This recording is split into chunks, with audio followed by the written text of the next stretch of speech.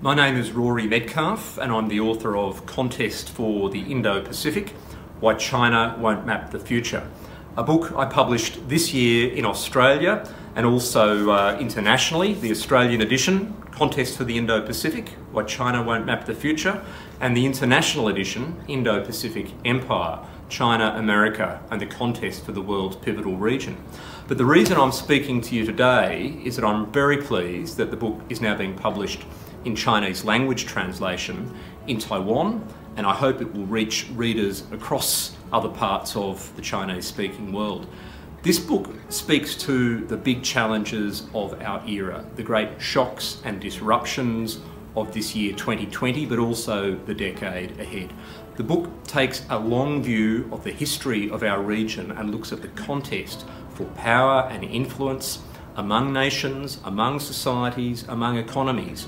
The book makes an argument that many of the issues we're seeing this year, whether it's the so-called black swan event of the pandemic, whether it's the strategic rivalry between the United States, or whether it's the efforts of the People's Republic of China to crack down on dissent and free expression, all of these issues are connected. The book makes the argument that we need to find a, a, settling point for Chinese power and ambition, and that only through bringing together coalitions of countries across the Indo Pacific, countries like the United States, Japan, Australia, India, but more, countries in Southeast Asia, will we begin to build, I guess, the, the coalition, the framework to persuade China to achieve that settling point in its ambitions that does not lead to conflict.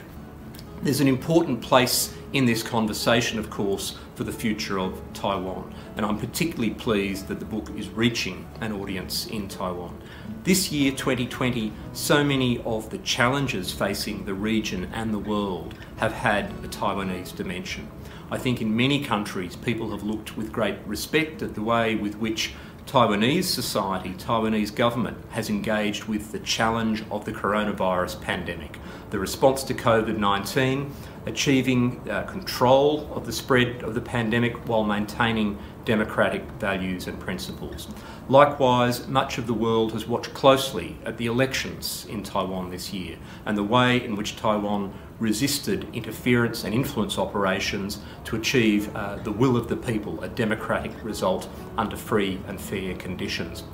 And of course, as we look to the assertiveness of the People's Republic of China right around its neighbourhood, from the border with India, where there's been violence this year, to the South China Sea, to China's relations with Japan, to, of course, economic coercion against my country, Australia, it's important to understand the place of Taiwan in that tapestry of regional insecurity. I think many eyes will be on the challenge now for maintaining stability across the Taiwan Strait, but also maintaining the democracy and the rights of the Taiwanese people when we look to see what is occurring in Hong Kong.